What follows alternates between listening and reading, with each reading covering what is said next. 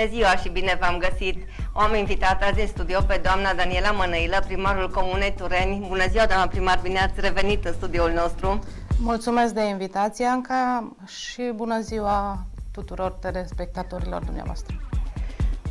Vreau să și intrăm așa într-o discuție, dar uh, mă gândesc că ar fi interesant ca cei care ne urmăresc și în special mă refer poate aici mai mult la doamne, uh, să ne povestiți puțin cum ați ajuns să faceți carieră în general, cum ați ajuns să intrați în politică și mai ales dacă vă amintiți când ați candidat pentru prima oară, uh, care a fost uh, primul impact asupra oamenilor, mai ales la țară, unde poate că um, mai degrabă lumea poate puțin mai mult reticentă la ideea că o femeie poate să-i conducă. Poate, nu neapărat. Uh, Anca, deci eu mi-am am început cariera profesională la Turda, la regia domeniului public din Turda. Întâmplarea a făcut că după vreo 5 ani de activitate, inginerul șef de la cea, din acel moment s-a pensionat și dânsul și-a dorit foarte mult ca continuatorul activității lui uh, să fiu eu. Și concursul a fost pe bune, că am luat eu și nu Radu. Asta n-a fost între noi, n-am avut nicio dispută, am colaborat cu Radu foarte bine și așa mi-am continuat cariera profesională. Uh, legat de partea asta la altă de primar, uh, oamenii n-au fost reticenți în, uh, în comună. De fapt, cererea a venit din partea cetățenilor din comuna Turen să fiu primarul lor. Înainte cu un an de zile de a fi alegeri în 2008, un grup de cetățeni din Tureni a venit și m-a căutat la serviciu. Și au zis, ă, doamna Mănăilă, noi ne-am gândit la dumneavoastră ca să, ă, să ne reprezentați, să fiți candidatul nostru de primar din 2008. Ă, pentru mine a fost un șoc, pentru că eu aveam casă în Tureni, dar nu prea aveam așa o legătură cu satul, că stăteam în Turda, părinții mei stau pe Saline. Și casa mi-am fost făcută la Turen, dar bineînțeles că ei îmi cunoșteau familia, îl cunoșteau pe tata și mă știau din Turda de pe drumuri. uh, și pentru mine a fost un șoc, atunci am spus, nu, eu nu pot să fac politică, n-am nicio treabă cu politica, dar după un an de zile înainte de campania electorală am fost contactată la momentul respectiv de către domnul Marius Nicoră, care era președintele Consiliului Județean din partea Partidului Național, dar cred că în colaborare cu oamenii care au venit... În, cu siguranță, de unde va avea el informația. Și la prima întrevedere cu domnul președinte am zis, domnule, pentru asta m-ai chemat, eu nu fac așa ceva și efectiv am ieșit din birou și n-am mai stat la discuții. După vreo două săptămâni, domnul președinte iară m-a căutat, Până la urmă m-a convins, dar asta era înainte să întâmpla, înainte cu 5 săptămâni de a începe campania electorală. Nu cunoșteam pe nimeni în Tureni. M-au ajutat cetățenii, am făcut dosarul de candidat și până la urmă am fost primarul lor. Cum reușiți să, să vă împărțiți între a fi mamă, soție și a conduce o comună mare cu fiecare sat cu problemele lui particulare. Cum reușiți și să faceți aceste lucruri foarte bine? Păi, în primul rând, mă ajută familia, că altfel, clar că n-aș putea face lucrurile. În al doilea rând, mă ajută colegii, m-au ajutat consilierii și m-a ajutat întreaga comunitatea locală. Deci noi, efectiv, în Tureni, simt că toți suntem o familie.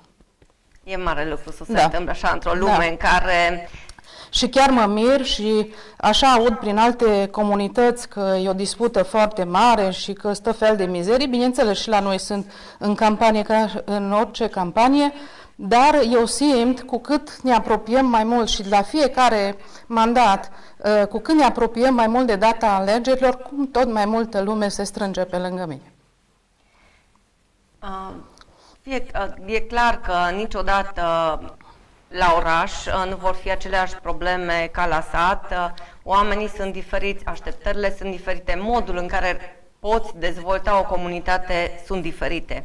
Și e clar că niciodată un buget local nu nu-l pot folosi pentru a dezvolta comunitatea. E clar că ai nevoie de niște bani europeni, guvernamentali, ca să poți face ceva, dar ca să ajungi să accesezi aceste fonduri, trebuie să ai o echipă care să știe să întocmească dosare, să știe pe ce axă trebuie să depună acele cereri.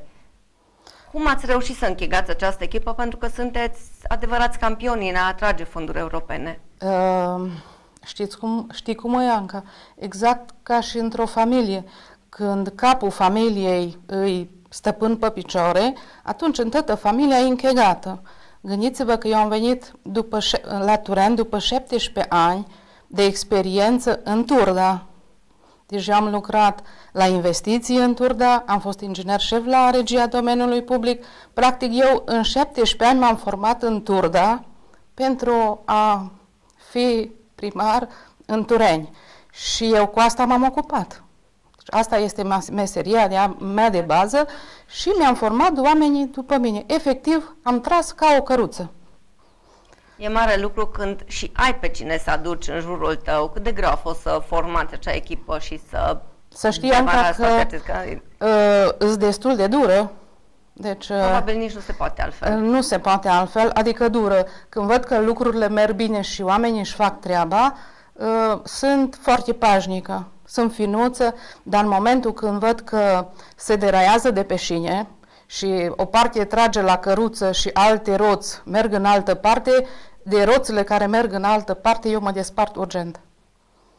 Probabil că nici nu, altfel nici n-ați fi putut. Dar nu să, se poate altfel, să... nu se poate. Deci fiecare trebuie să știe locul și rolul lui și căruța trebuie să tragă efectiv toată lumea. Că numai o roată, vezi, dacă are o frână pe o roată, mergi încet. Haideți să ne povestiți cum au început să vină banii europeni, în primul rând banii europeni către Comuna Tureni și care au fost primele investiții pe care le-ați făcut. Vai, așa aici este o poveste destul de frumoasă. În, primii, în prima zi după ce am ajuns, efectiv în prima zi după ce am fost instalată ca și primar, uh, am chemat secretarul la mine și am zis, domnul secretar, te rog frumos să-mi aduci toate contractele care le are primăria Tureni încheiate și să-mi aduceți toate proiectele care le aveți făcute. Eu aveam, intenționam să continui, nu să mă apuc de la zero. Adică să continui ce era făcut în primărie. Și a venit domnul secretar cu 3-4 contracte. Unul țin minte că era pe iluminat public, contractele astea uzuale de furnizare de servicii și proiecte, să cadăm și proiectele. Dar zice, noi nu avem niciun proiect. Atunci mi-am dat seama de gravitatea problemelor care erau și toată comuna era praf și pulbere și am început să scriem proiecte. Bineînțeles că noi, noi le-am scris, că proiectanții, dar am făcut demersuri să facem proiecte. Și doi ani de zile, crede-mă, mergeam în Consiliul Local numai să-mi aprobe bani pentru întocmirea studiilor de fezabilitate pentru proiecte. Uh, și la un moment dat, Într-una dintre ședințe, cred că consilierii pe bună dreptate își puneau întrebarea, oare ce cu femeia asta, miliarde și miliarde dă numai pe proiecte și n-aduce niciun leu. Și la un moment dat văd consilierii că am intrat cu un proiect tot așa să mi-l aprobe, să uitau unul la alții disperați și nu știau ce să facă. Că ceream iară vreo un, milion, un miliard jumate vechi. Și unul dintre consilieri de la UDMR, mi-amintesc foarte bine, domnul Feri, a zis, mă, haideți să-l aprobăm și pe ăsta și vedem ce iasă. Că mai sunt doi ani de mandat și dacă nu iasă nimic, schimbăm calul. Zice că cel dinainte, ei nu au venit cu niciun proiect. Numai că întâmplarea a fost că după aceea curgeau banii, toate proiectele au fost finanțate și efectiv să mirau când intram în Consiliul Local și ziceam și de proiectul ăla ai finanțat, și proiectul ăla ai finanțat, și proiectul ăla ai finanțat, atunci au uh, prins încredere toți și mergeam pe aceeași mână toți. Cum, cum se face că uh, comuna este aproape în totalitate asfaltată? Așa se face, cum ți-am explicat, cu proiectelul, unde auzeam că există o finanțare uh, mergeam și noi, depuneam. Eu fiind de meserie și de profesie, ă, într-adevăr, primul verificator, că orice proiect pe lângă proiectant are și un verificator. Eu am fost cel mai mare verificator al proiectelor și vedeam toată chichița. M-am specializat pe chestii din astea, încât efectiv eu mă uit uh, la tot ce e acolo și nu-l depunem până nu știu că totul, tot mă asigur eu ca primar că tot e în regulă. Unde mai sunt acum zone în care ar trebui să mai asfaltați? Mai avem în Ceanu Mic niște străzi și în Micești. Dar tot ce înseamnă artere principale, uh, străzi principale, asfaltată. Uh, cum este acum accesul spre terenurile agricole? Pentru că e clar la sat, foarte mulți oameni au teren pe care fie îl dau în arendă, fie îl muncesc eu acolo. Cum, uh, care este accesul? Până Dacă la este drum de pământ? Uh, drumurile de pământ nu prea intră în administrarea UAT-urilor. Uh, drumurile de pământ s-au format din cedarea cât la capetele terenului a unei bucățiși de, de teren. Deci drumurile care îți de hotar, alea aparțin cam proprietarilor. Și banii de la APIA ce se dau subvenții la proprietari se dau și pentru întreținerea acestor drumuri pe de altă parte. Sunt și drumuri care administrația publică locală le poate prelua în, în administrare. Eu am depus un proiect pe drumuri agricole încă nu, nu am primit uh, niciun verdict, că e finanțabil, că nu e finanțabil. Erau, um, uh, măsura era mică, undeva la 20 și ceva de proiecte parcă pe țară erau, uh, puteau fi accesate ca și finanțabile. Am înțeles. Dacă tot uh, vorbeam aici de drumuri, haideți să ne oprim la această mare durere de cap care este amenajarea uh, drumului național, unde uh, după ce s-au pus acea acele, nici nu știu, garduri pe Garduri. mijlocul drumului au fost uh, scoaruri, uh, scoaruri au fost accidente, au fost momente în care nu s-a putut interveni pentru că ambulanțele au trebuit să ocolească și uh, n-au, au făcut-o cu dificultate și oamenii au fost revoltați, uh, dumneavoastră ați fost de nenumărate și ați făcut demersuri, până la urmă ce s-a schimbat sau e clar că de uh, scos acele scoruri nu o să le mai scoată, dar măcar ceva să găsiți o variantă așa de mijloc. Uh, cel mai greu și cel mai greu e pentru locuitorii comunei. Nu, par, și participanții la trafic sunt afectați pentru că acele benzi s-au îngustat, dar gândiți-vă că locuitorii comunei, fiecare locuitor, accesul în sat și dinspre sat e foarte greu, acolo în intersecția aia cu drumul județean, uh, în fiecare săptămână este câte un accident. Ă, din tădrău ăsta ne-am ales și noi cu ceva bun în sensul că au refăcut trotuarele în urma numeratelor ieșirea mele publice și așa. Uh, ei au uh, refăcut trotuarele la foarte frumos, le-au făcut cu dalaj și au pus acele uh, balustrade între carosabil și trotuar care alea sunt binevenite. Și la partea asta de uh, rigole, tot ei le-au făcut, pentru că acolo, la ploile torențiale, e o da, nu sunt tragedie. Rigole. Deci nu deci sunt nu sunt rigole. Tot așa am avut ani discuții, ani discuții cu cei de la DR de pe Cluj. Îmi promit, tot îmi promit că fac și rigole de scurgere a apelor. Acum am înțeles că au au în vedere și cred că ori și, îi și avizat uh, crearea unui sens giratoriu în intersecția cu drumul ce merge spre Aiton. Acolo domnul director îmi promitea, promitea că s-ar putea chiar și în anul ăsta să facă un sens giratoriu. Atât și rigolele deocamdată și la nivel de, de La nivel de discuții. Dar eu insist în continuare. Pentru că acolo, cum uh, vine apa de pe versanție, o nebunie. Pe de câte ori ploaie în Turani, e, e, e efectiv o vale pe drum. Haideți să mergem așa pe șirul uh, banilor care au venit. Acum nici nu are importanță. Important e că vin, fie pe parte guvernamentală, fie pe PNDL, fie pe fonduri europene. Ce ați mai reușit să faceți? Și la țară, clar, lumea merge în principal la dispensarul uman, unde acolo e medicul de familie, destul de greu, vine lumea să plimbe până la Turda sau știu unde pentru un medic. Acolo cum cum ați reușit să reabilitați?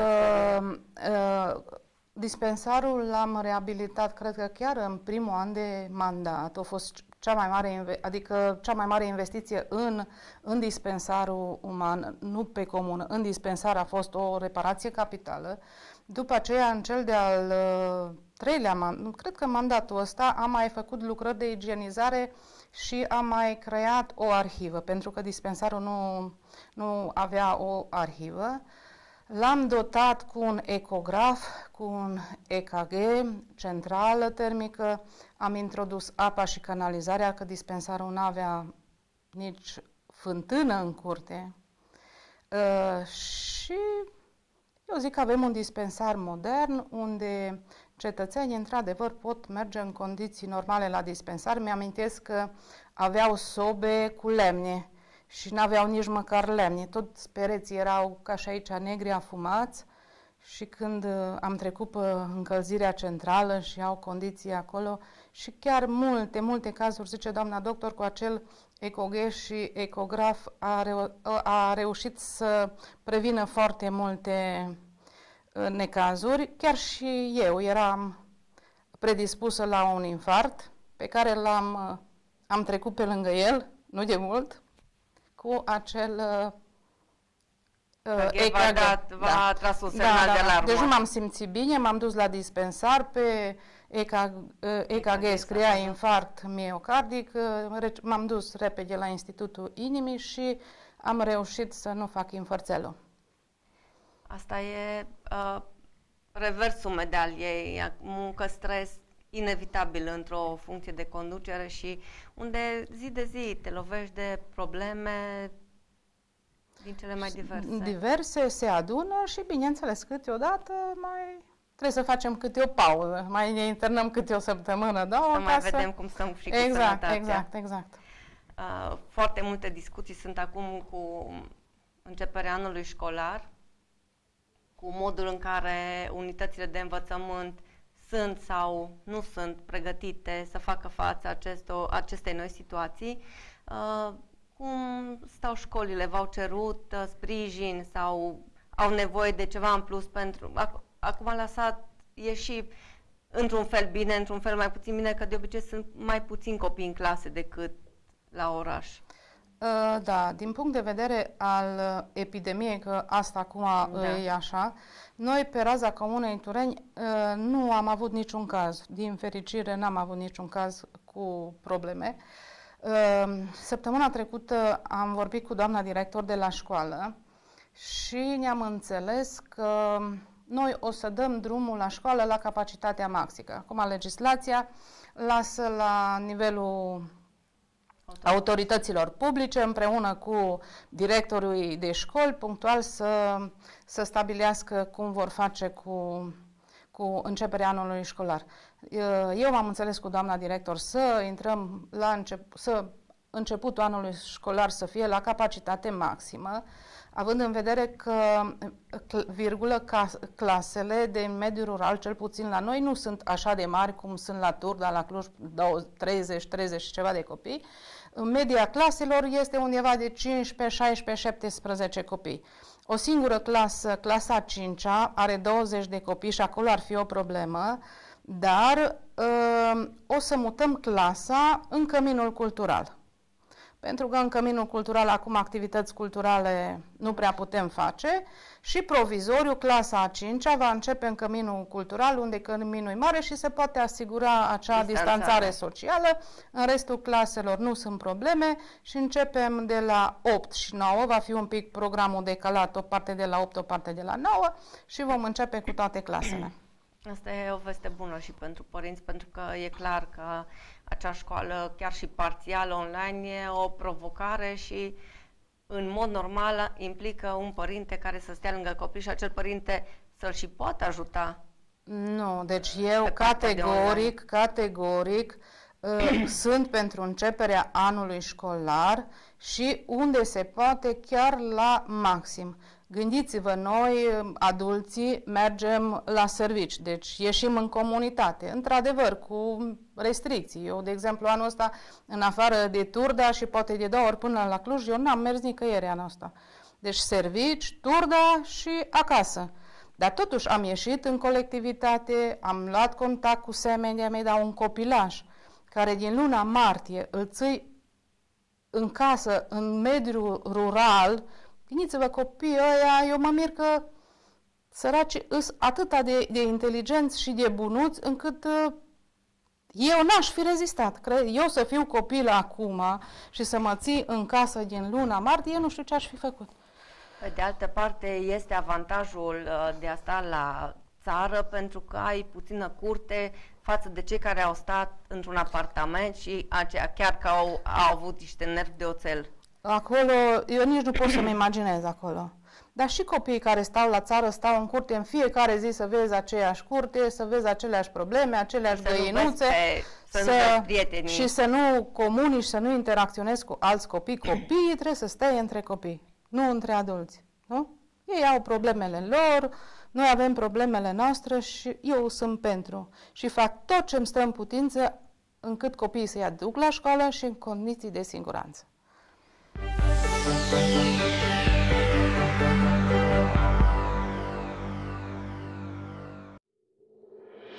Apa este viață.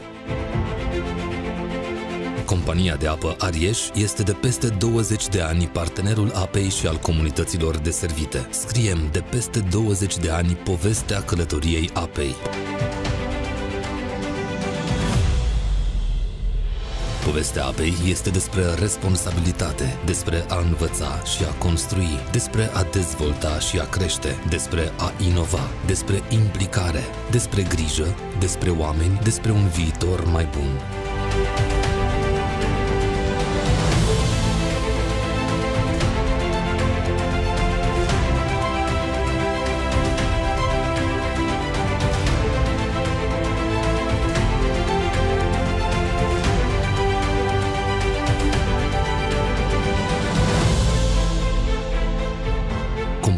De apă Arieș.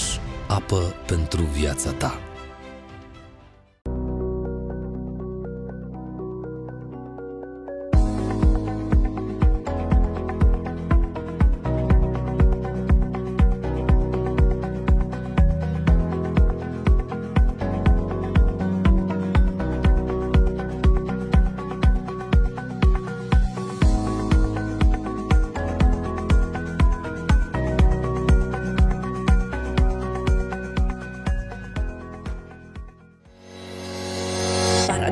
Sub pământ din Transilvania, o adevărată oază de sănătate și relaxare. Salina Turda este atât o bază de tratament pentru afecțiunile respiratorii, cât și o atracție turistică de neratat, cu un parc de agrement în subteran care include plimbări cu barca pe lacul din Mina Terezia, roata panoramică și liftul panoramic din Mina Rudolf. Accesul la Wi-Fi este gratuit. Vă așteptăm zilnic între orele 9 și 20, ultima intrare fiind la ora 19. Respectarea regulilor privind distanțarea socială și purtarea măștii sunt obligatorii în interiorul minei.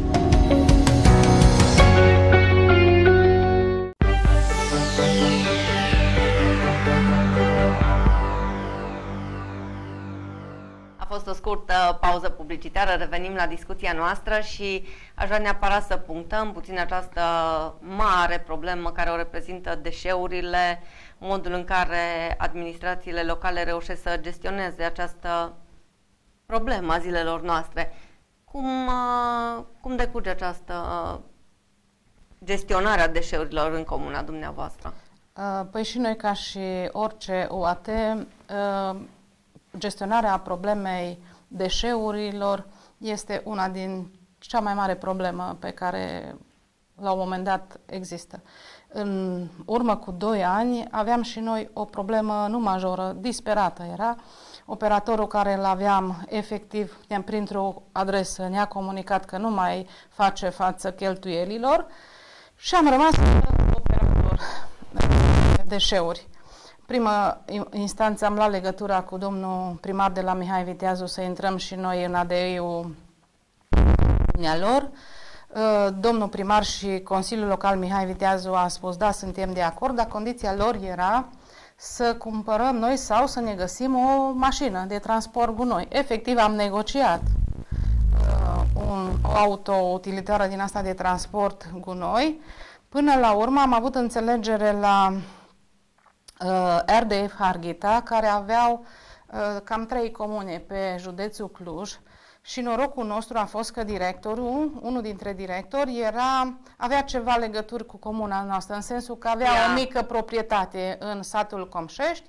Am luat legătura cu domnul director și uh, în scurt timp au venit și au operat și la, la Tureni.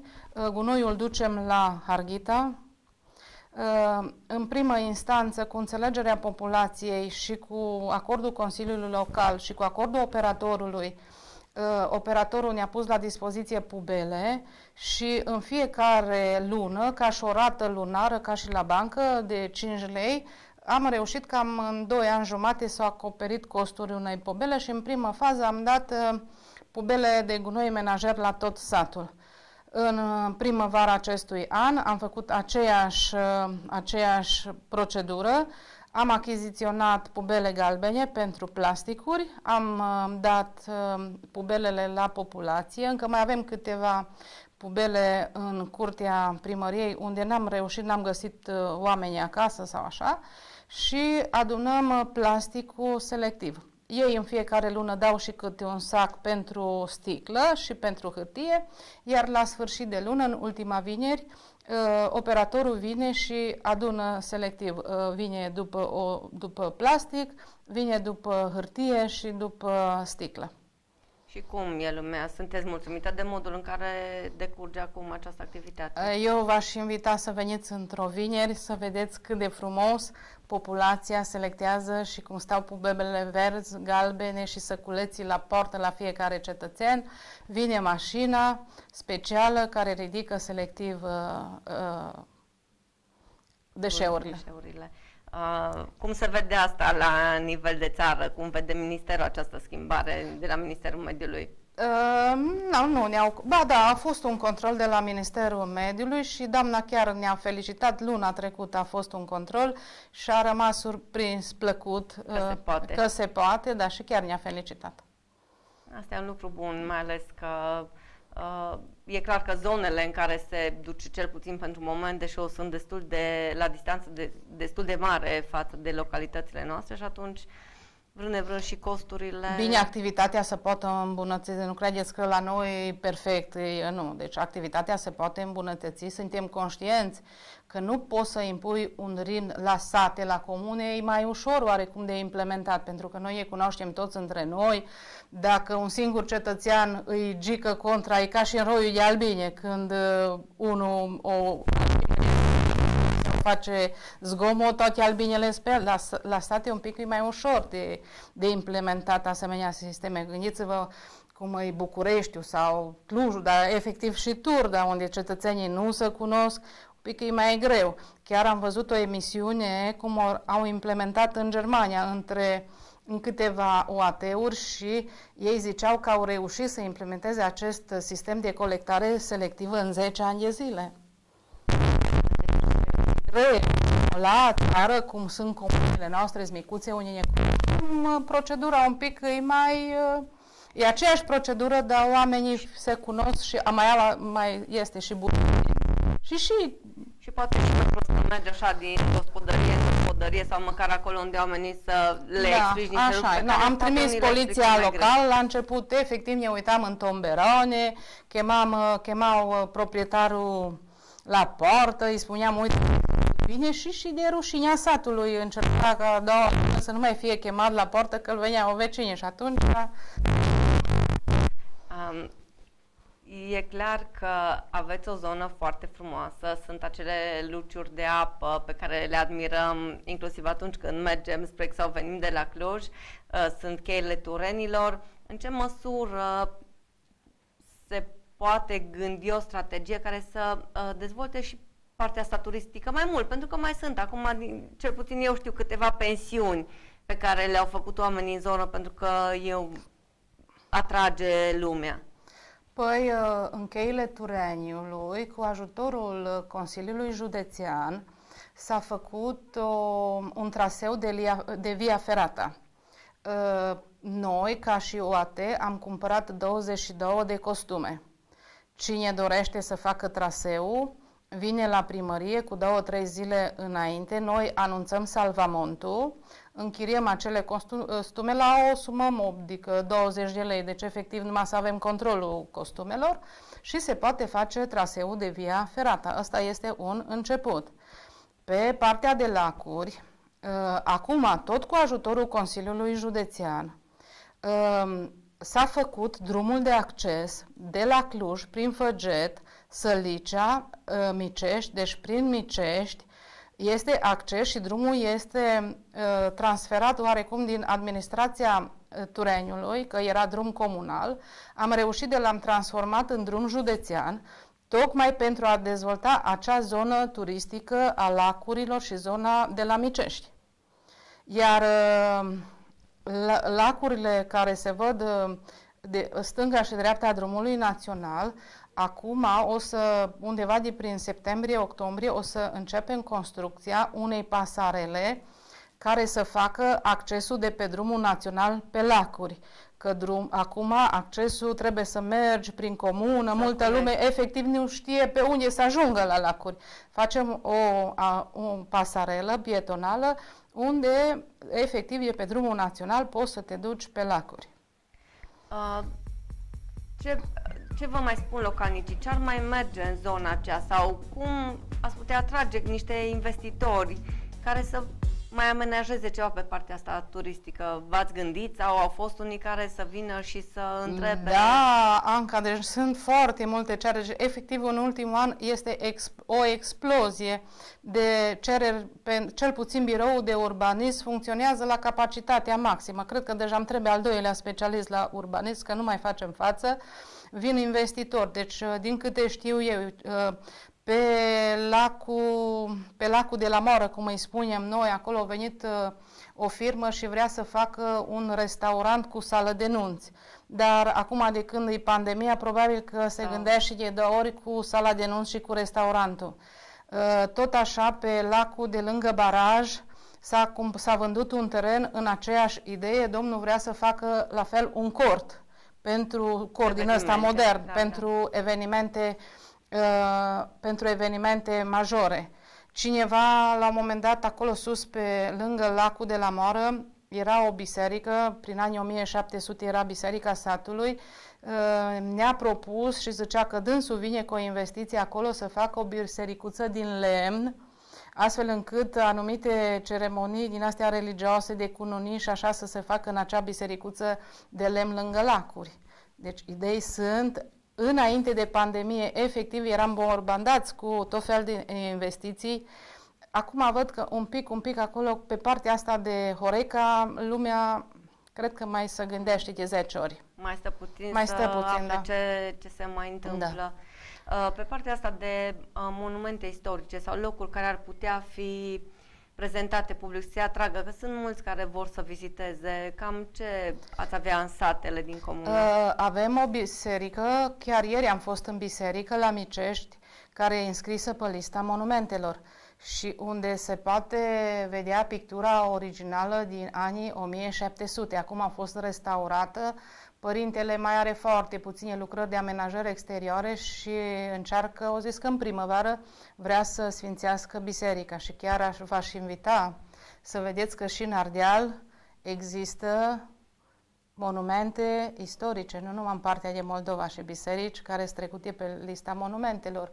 În altar, altarul era pavat cu cărămidă unde era înscripționată legiunea Cincea Macedonică. Uh, deci avem ce... E o, o bucățică importantă de istorie. Avem, deci avem ce prezenta, sigur că da. Uh, mi era încă un subiect care vroiam să îl atingem așa apropiindu-ne și de finalul discuției. Uh, în ce măsură ați reușit să cadastrați terenurile? Era acel proiect, program în care acestea se puteau cadastra gratuit.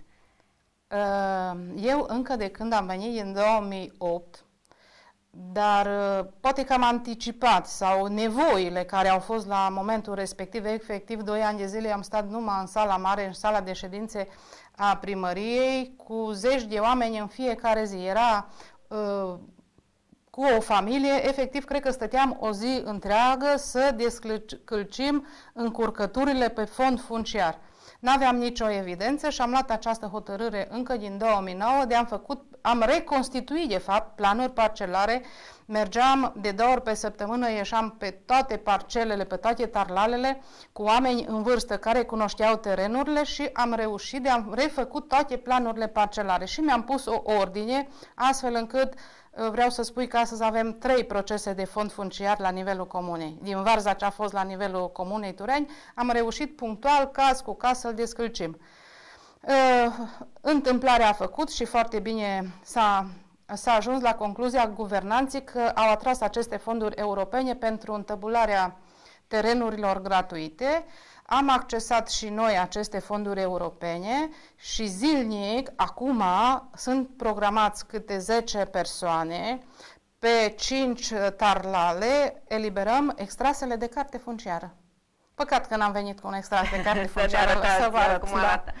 Care au fost problemele? Nu s-a, oamenii nu și-au primit uh, terenul pe vechea poziție sau, sau au fost schimburi sau unde, din ce vă aduceți dumneavoastră aminte așa, unde a, de unde a provenit cel mai mare haos în partea asta? Și e clar că la țară omul își vrea pământul înapoi și majoritatea știau foarte bine de unde până unde era pământul pe care l-au muncit părinții sau bunicii. Știi de unde? Din partea asta subiectivă a noastră că dacă nu-ți faci treaba cu conștiință, să fii împăcat că ceea ce ai făcut, ai făcut corect și ai făcut bine. Acum greșeli involuntare sunt, deci trebuie să acceptăm că dacă dar eu din ce am văzut acolo, membrii comisiei care au fost de fond funciar au făcut cea mai mare, cel mai mare dezastru. Cred că ei mergeau efectiv pe tarlare, împărțeau terenurile bune la cunoștințe sau la cine era prezent în ziua aia acolo și efectiv nu împărțeau după, după acte. Deci ei nu, ei împărțeau, cred că după bunul plac. Atunci, după Revoluție, când era haosul total, mai mult și din neștiință, erau persoane care împărțeau pământul în comisiile de fond funciar cu două, trei clase. Când armata, atunci era, se desințau unitățile militare care aveau topograf și care puteau fi folosiți în UAT-uri. No, asta a fost gândirea la nivel de conducere din anii după 90. Și a fost un haos. Noi, efectiv, după aceea, am refăcut toate planurile parcelare. Ne-am dus înapoi în teren, de două ori pe săptămână, chemam bătrânii care au fost din sat și cunoșteau foarte bine terenurile și am început să-i punem în ordine cât am putut noi de bine. Dar se pare că am pus destul de bine pentru că nu mai avem foarte multe reclamații. Chiar nu sunt. Asta e mare lucru. Nu sunt, Asta da. înseamnă că totuși uh, lucrurile sunt și uh, avem atât, o evidență încât uh, să zicem că tu ai un teren în Comuna Tureni și vii la noi, deci eu pot să-ți spun terenul ăla unde ți cu exactitate, deci pot să-ți spun în coordonate GPS unde ți terenul, pot să spun cine a fost înscris primul în titlul de proprietate.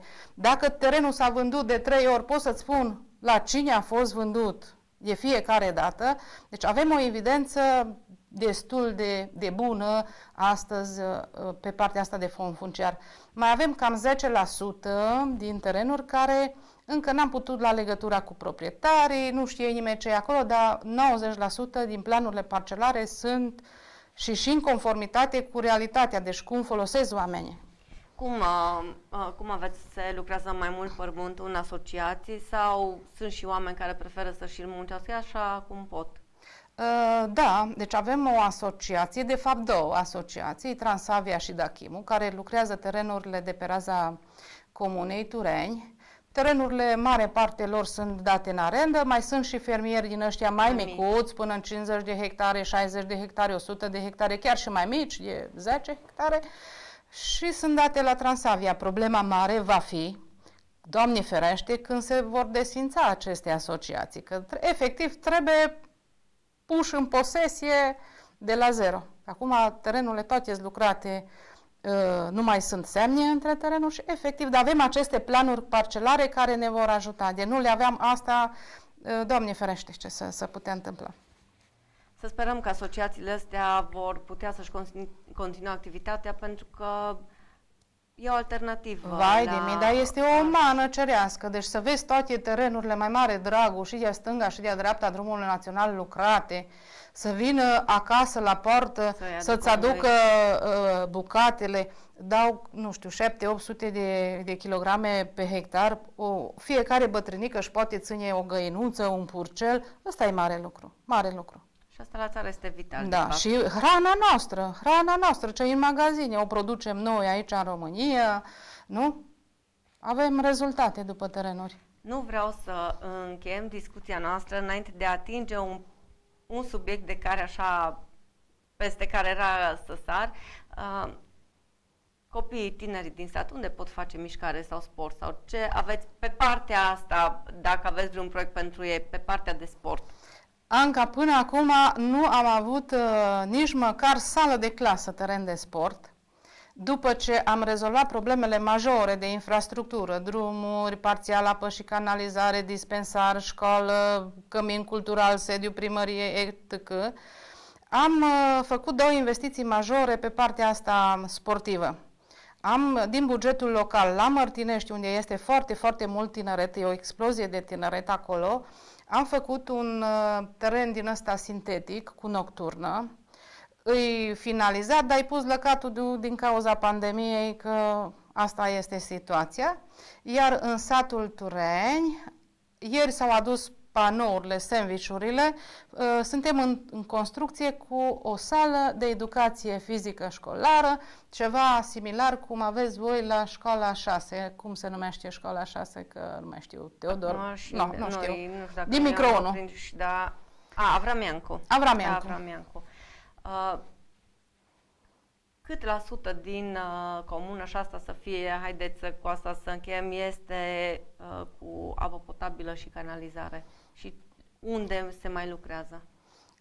ca și procent, uh, 8 km din 48 de, ki- a nu 48 că e cu, tot cu drumuri comunale, uh, din vreo 30 de kilometri, 8 sunt cu apă și canalizare. Uh, Restul sunt fără. Dar partea bună e că avem finanțare, suntem prinși și noi în programul companiei de apă de la Turda și undeva din luna septembrie-octombrie lucrările de aducțiune vor începe și apă va fi introdusă. Finanțarea o avem pentru 5 sate, pentru toate 5 satele și uh, Tureni, ceea ce a mai rămas, și canalizare numai în 4 sate, Tureni, Ceanumic, uh, Mărtinești și Comșești, mai puțin la Micești canalizare. Eu sper ca în uh, mandatul următor să pot să vin aici la tine în emisiune și să spun că și problema asta s-a rezolvat. Uh, cum reacționează oamenii uh, la sat când e pe partea asta de canalizare și apă? E că sunt unii care zic, mă, parcă mai bine am fântână, dar sunt mulți p- pentru care e totuși o necesitate. Uh, Dacă îți dau niște cifre, te las pe tine și pe domnii cetățeni care ne aud să concluzioneze.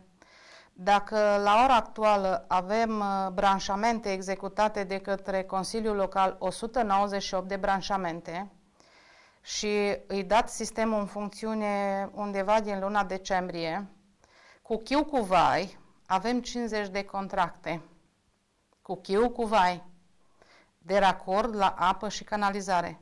Dar la canalizare prindem, tot a doua, a treia zi în fiecare săptămână, prindem câte unul care s-a racordat ilegal. Deci omul vrea, dar mai... Vrea, dar până în faza de contract, de plată.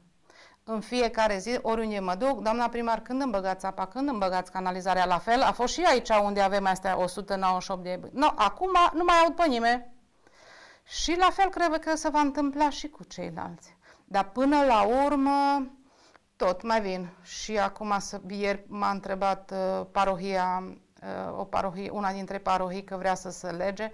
Deci așa încet, încet, își dau seama, vorbesc cu vecinul, mă, totul e mai bine cu canalizare decât cu fosa septică, e mai bună apa asta care o avem noi centralizată decât aia de la fântână și Încet, încet, Încet, fiecare încet, no. lucru poate se că un pic așează. lumea, având fântână în curte și canalizarea mergând în fundul curții pe la șanț,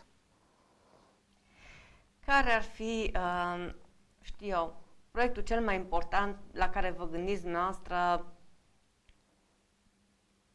pe mai departe? Care ar fi primul lucru din septembrie încolo la care se, sunt convinsă că sunt multe. Unul dintre ele care vă este drag și vreți uh, să-l vedeți că începe să, Ăsta să este ia Anca. Formă. Ăsta este uh, proiectul. Apa și canalizarea. Chiar dacă lumea un pic, o parte, sunt ireticentă, sunt convinsă că își vor da seama de beneficiile unui sistem centralizat de apă și canalizare și eu cred că în curând Uniunea Europeană nu e va mai lăsa cu așa ceva și când se închide robinetul, atunci o sărim toți ca pușcați că oare de ce n-am făcut.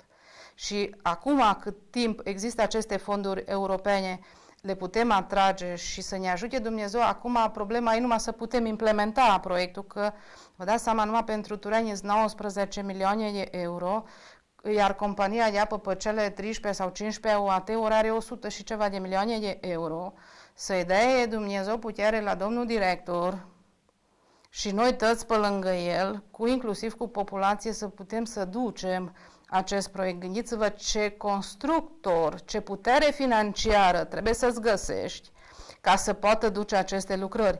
Constructorul respectiv trebuie să pună bani de la el, să-și cumpere materiale, să-și plătească muncitorii, toate cheltuielile de conturile vin cu întârziere, două, trei luni de zile. Deci ce putere financiară trebuie să existe.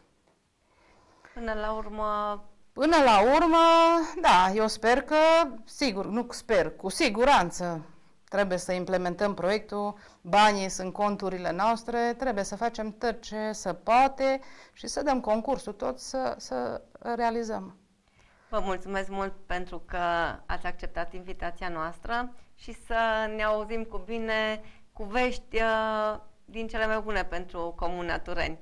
Mulțumesc pentru invitație, sper că acest proiect îmi doresc nu numai pentru Comuna Torem, pentru tot arealul Văii Arieșului să fie implementat. Și oamenii de pe, de, de, din județul Cluj să fie mândri că stau în acest județ pentru că este județul numărul 1 din țară, nu-și imaginează în alte părți ale, ale țării ce vai și vai și amar de, de, de capul oamenilor și că aici, în zona noastră, oamenii își doresc să vină pentru că să fac investiții. Investițiile atrag populația în județul nostru, nu altceva. Și asta fac ca satele să fie populate și nu să ne uităm cu durere în suflet la sate unde o casă e locuită și cinci nu. Nu, și acum, dacă în anii 70 era o explozie, adică o, o mișcare a oamenilor de la, de la sate la oraș, acum eu văd exact invers. Deci vin, vin puhoaie de oameni, populație care își cumpără proprietăți, terenuri și case, cel puțin, dar nu numai la noi în comună, că auzi și pe domnul primar de la Iton și de la Sândule și de peste tot lumea, de la Ciurii, la Petrești, că vin oameni de la Cluj, vin de la Cluj, de la Turda. Aseară chiar cineva m-a sunat de la Timișoara că și-a luat o proprietate la noi în comună și când mă poate găsi. Asta e un lucru bun. Și eu mă bucur. Deci mă bucur, dar asta, asta fac, investițiile fac ca noi să fim atractivi, nu altceva. Așa este. Că oamenii sunt peste tot locul, sunt convinsă, oameni buni, dar investițiile care, care sunt în zonă și fondurile care se atrag în zonă face ca populația din alte colțuri ale țării să vină înspre noi. Asta e un lucru bun. Eu vă mulțumesc că ați uh, venit la noi și ne-ați povestit uh, foarte multe lucruri interesante despre tot ceea ce s-a realizat în Comuna Tureni și proiectele de viitor. Iar dumneavoastră, celor care ne urmăriți, vă mulțumim pentru atenție. Până la o întâlnire vă doresc toate cele bune și mai ales multă sănătate. La revedere! La revedere!